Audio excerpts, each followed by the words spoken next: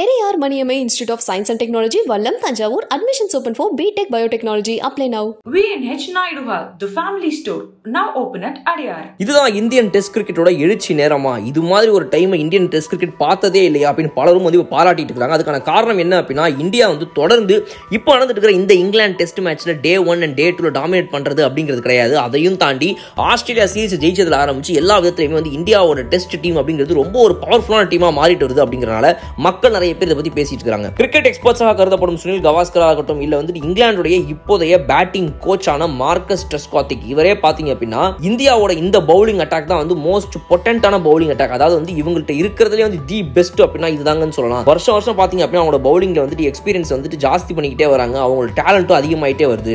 அந்த வகையில் பார்க்கும்போது இப்போ வந்து இந்த டீம் தான் இருக்கிறதுலே தி பெஸ்ட் அப்படின்னு எல்லாரும் பாராட்டிக்கிறாங்க இந்தியாவை பொறுத்த வரைக்கும் அஞ்சு டெஸ்ட் மேட்ச் ஆடுறதுக்காக இங்கிலாந்துக்கு போயிருக்காங்க அதுல முதல் டெஸ்ட் மேட்சோட முதல் டே முடிவிலேயே பாத்தீங்க அப்படின்னா இந்தியா வந்து வேற லெவலில் ஒரு டாமினேஷன் பண்ணாங்க அப்படின்னே சொல்லலாம். இந்த மாதிரி ஒரு டாமினேஷன் இந்தியன் பவுலர்ஸ் அதுவும் டெஸ்ட் மேட்ச்ல அதுவும் இங்கிலாந்துல போய் இங்கிலாந்து டீமுக்கு அகேன்ஸ்டா பண்றாங்க அப்படின்னா உண்மையாவே இது தரமான சம்பவம் அப்படின்னு பலரும் பாராட்டிட்டு இருக்காங்க. சுனில் கவாஸ்கர் பத்தி பார்க்கும்போது ஏற்கனவே இந்த டெஸ்ட் சீரிஸோட முடிவு என்னங்கிறது தெரிஞ்சு போச்சு அப்படின்னு சொல்லியிருந்திருக்காரு. நிறைய பேர் பாத்தீங்க அப்படின்னா கிரிக்கெட் எக்ஸ்பர்ட்ஸ் எல்லாருமே இந்தியா டீமுடைய இந்த பர்ஃபார்மன்ஸை பாராட்டிட்டே இருக்காங்க. பவுலிங்கை பொறுத்த வரைக்கும் கரெக்டான நேரங்களில் எப்பெல்லாம் விக்கெட் தேவையோ அந்தந்த இடங்களில் கரெக்டாக அவங்க விக்கெட் எடுத்துக்கிட்டே இருக்கிறாங்க. அவங்களோட பேசிக்ஸை கவர் பண்ணுறாங்க எந்த ஒரு பேசிக் விஷயங்களை அவங்க தப்பே பண்ண மாட்டேங்கிறாங்க. பேசிக்காக என்ன பண்ணணுமோ டெஸ்ட் கிரிக்கெட்டில் எந்த மாதிரி பவுலிங் இருக்கணுமோ அதை பண்ணிக்கிட்டே இருக்காங்க.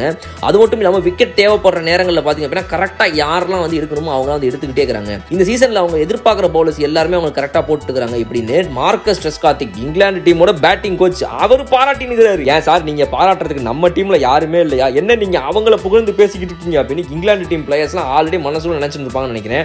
அந்த அளவுக்கு பார்த்தீங்க அப்படின்னா இந்தியா டீமோட டாமினேஷன் சும்மா டன் டன் டன் டன் டன் டன் டன் அப்படி மேலே ஏறினே போயிட்டு இருக்குது. பேட்டிங்லையும் மாஸ் காட்டி மொதல் இன்னிங்ஸ்லையும் செமையான ஒரு லீட் மட்டும் இந்தியா டீம் எடுத்துருச்சு அப்படின்னா இதை விட வேற ஒரு விஷயம் எதுவுமே வேணாம். அதுவும் இங்கிலாந்து நடக்கக்கூடிய ஒரு டெஸ்ட் சீரிஸ்க்கு மொதல் மேட்ச் இப்படி ஒரு ஸ்டார்ட் அப்படின்னா அதுதான் பெஸ்ட் அப்படின்னு எல்லாரும் பாராட்டிக்கிறாங்க. முக்கியமா பும்ரா பத்தி பேசி அவனும் வேர்ல்ட் டெஸ்ட் சாம்பியன்ஷிப்பை பொறுத்த வரைக்கும் பும்ராவிட்ட இருந்து நிறைய எதிர்பார்க்கப்பட்டுச்சு. ஆனாலுமே ரசிகர்கள் மத்தியில் ஒரு பெரிய வருத்தத்தை கொடுத்த விஷயம் என்ன அப்படின்னா ஃபைனல்ஸில் பெர்ஃபார்ம் பண்ணலை அப்படிங்கிறது தான். ஆனால் அந்த மாதிரி ஒரு தருணத்தில் இங்கிலாந்து பிச்சில் நியூசிலாந்து அணி கூட சரியாக போட முடியாத பும்ரா எப்படி இங்கிலாந்து அணி கூட விளாடுவார் எப்படி அவருடைய ஒரு பர்ஃபார்மன்ஸை பெஸ்ட்டாக கொடுப்பாரு? நிறைய பேர் யோசிச்சுட்டு இருக்கும்போது நம்ம பார்த்த நம்ம பார்த்து பழகின பெஸ்ட் பும்ராவோட பவுலிங் அட்டாக்கை திரும்பவும் இங்கிலாந்து கூட ஆடப்பட்ட இந்த ஃபர்ஸ்ட் மேட்சோட ஃபர்ஸ்ட் டேல நம்ம பார்த்தோம். அதை பார்த்த உடனே மக்களுக்கு நம்பிக்கை உச்சத்துக்கு போயிடுச்சு அப்படின்னு சொல்லலாம். பிளான் போட்டபடி எல்லாமே சரியாக போயிட்டு இருக்குது சூப்பராக பர்ஃபார்ம் பண்ணுறோம் அப்படின்னு இந்தியா பிளேயர்ஸ் ஒரு பக்கம் ஜாலியாக இருந்தாலுமே கூட இந்த பக்கத்தில் பார்த்தீங்க அப்படின்னா ஒரு ஒரு டீமாக பயந்துட்டே இருக்காங்க. அடுத்து நமக்கு தானோ அடுத்து நமக்கு தானோ எல்லாருமே பார்த்தீங்க அப்படின்னா அவங்களுடைய டெஸ்ட் மேட்சஸ் இந்தியா கூட ஆட போகிறத பற்றி பயந்துகிட்டே இருக்கிறாங்க அப்படின்றதான் நிதர்சன உண்மை.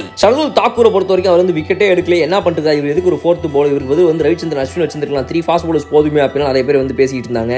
இல்லை அப்படின்னா அவருக்கு பதில் வந்துட்டு ஒரு உமேஷ் யாதவ் கொண்டு வந்திருக்கலாமே. எதுக்கு தேவையில்லாம அவரை கொண்டு வந்தாங்கன்னா நிறைய பேர் யோசிச்சு இருக்கும்போது எடுத்தேன் பாரு விக்கெட்டு கேப்டனோட விக்கெட் அப்படின்னு ஜோ ரூட் விக்கெட் எடுத்தார் நம்மளோட சதுல் தாக்கூர். அது மட்டும் இல்லாமல் அடுத்ததாக உடனே உள்ள வந்து இன்னொரு பேட்ஸ்மேனையும் வந்து அவர் எடுக்கிறாரு. ஒல்லி ஒல்லி ஒல்லி ஒல்லி. ஒல்லியோட விட்டியும் இவர் தான் எடுத்தார். ஸோ பார்த்தீங்க அப்படின்னா இந்த மாதிரி பேக் டு பேக் விக்கெட்ஸ் எடுத்து சதுல் தாக்கூரும் அவருடைய பவுலிங் பர்ஃபார்மன்ஸை காட்டாரு ஸோ எந்த பிளேயர் எந்த பவுலர் ஒழுங்காக போடலை சொல்லுங்க. அதுவும் இந்தியா பவுலர்ஸ் பார்த்தீங்க அப்படின்னா இந்த மாதிரி அவங்களோட சமயோஜித புத்தியை வந்து பயன்படுத்துறதுங்கிறது இந்த சீரிஸை பொறுத்தவரைக்கும் ஜாஸ்தியாகவே இருக்குது.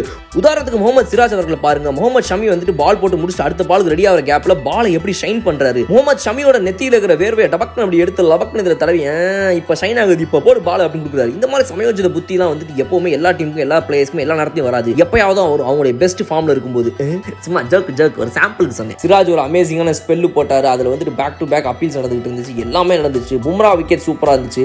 ஷமியை பொறுத்த வரைக்கும் டெட்லியான பவுன்ஸ் ஸ்விங்கின்னு அவரும் சூப்பரான பேஸை மெயின்டைன் பண்ணிட்டு இருந்தார். இது மாதிரி நாலு பவுலர்ஸும் சூப்பராக போடும்போது இது போதும் எனக்கு இது போதுமே அப்படின்னு இப்போ எல்லாரும் டான்ஸ் ஆடுறாங்க ஸோ இந்தியாவோட இந்த பர்ஃபார்மன்ஸ் டெஸ்ட் லெவலில் வந்துட்டு இப்படி ஒரு ஹை இடத்த தொற்றுக்குது இந்த ஹைட்ஸை பற்றி நீங்கள் என்ன நினைக்கிறீங்கன்றத கமெண்ட் செக்ஷனில் சொல்லுங்க. இதே மாதிரி லேட்டஸ்ட் இன்ஃபர்மேஷன் உணர்ந்து பெயிண்ட் வச்சு யாரை சப்ஸ்கிரைப் பண்ணுங்க பெலைக்கான பிரச்சனை ப்ரெஸ் பண்ணுங்க. அடுத்த வீடியோ நான் உங்களுக்கு பார்க்குறேன். அது வரை உங்களுக்கு விடைபெறுது உங்கள் Bala. Okay bye